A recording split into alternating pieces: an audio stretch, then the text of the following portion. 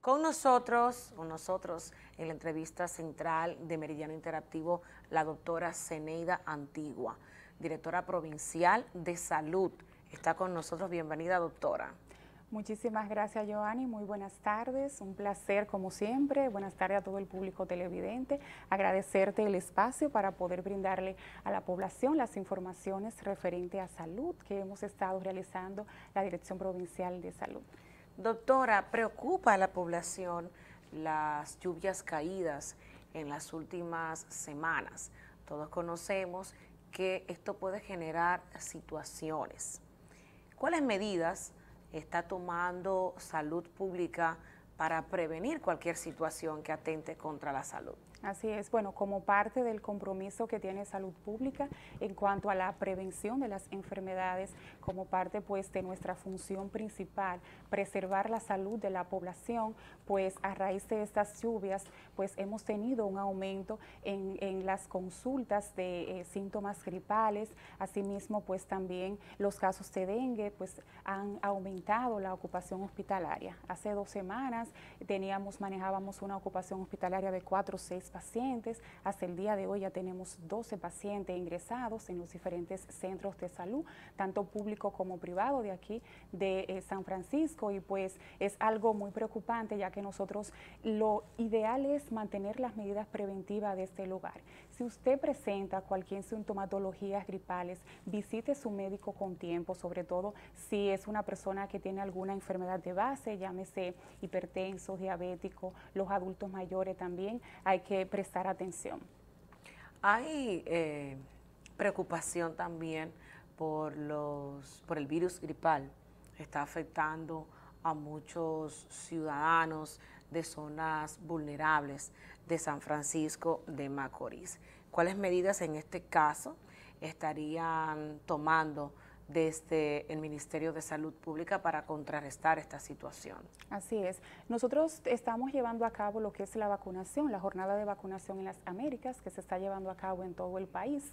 Eh, tenemos las vacunas disponibles de neumococo, que es sumamente importante, especialmente para las personas mayores de 65 años y los pacientes crónicos, es decir, los pacientes hipertensos, diabéticos y que tengan alguna enfermedad de base. Entonces, básicamente es concientizar a la población. Si usted presenta cualquier sintomatología de gripe, eh, en especial los adultos mayores, pues visitar su médico y de igual forma, pues no aglomerarse en, en, estados, en, en centros comerciales donde hay muchas personas, es importante mantener siempre la distancia, si, sobre todo si tiene síntomas gripales. Esas son algunas de las medidas, siempre nos mantenemos concientizando a la población en cuanto a estas, eh, a estas medidas.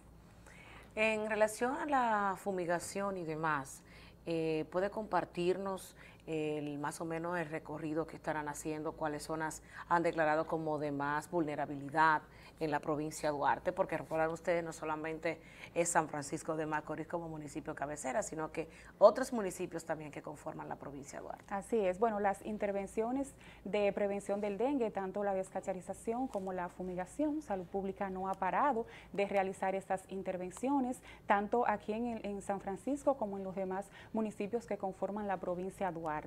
Tenemos un equipo que sale diario a las calles a realizar estas jornadas de prevención del dengue, concientizar a la, a la población en cuanto a las medidas que deben de tener en su hogar, que ya en reiteradas ocasiones les hemos explicado, mantener sus patios limpios, eh, untarle cloro a las barricas por lo menos dos veces a la semana, de igual forma mantenerlas tapadas. Las fumigaciones continuamos realizándolas en los diferentes sectores, eh, estamos trabajando muy de cerca con las juntas de vecino y también en esas zonas donde tuvimos inundaciones se han hecho las intervenciones. Hemos fumigado toda esa zona de los Chiripos, eh, también el Barrio Azul, eh, Villaverde, eh, Los Espínola y toda esa zona.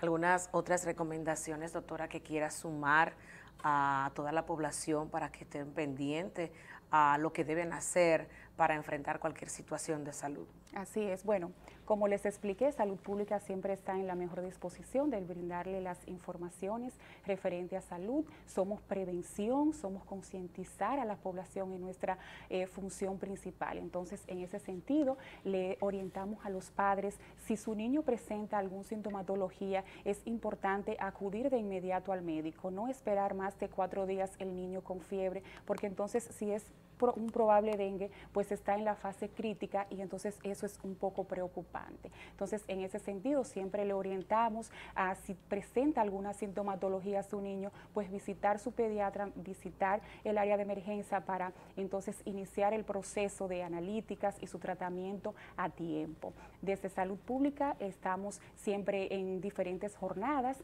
Eh, la jornada de vacunación de las Américas, como bien expliqué, pues estamos realizando lo que es la vacunación tanto de la neumococo como también estamos vacunando contra la influenza y demás vacunación. Somos la institución que eh, distribuimos las vacunas a los demás centros de salud donde tenemos puestos fijos de vacunación.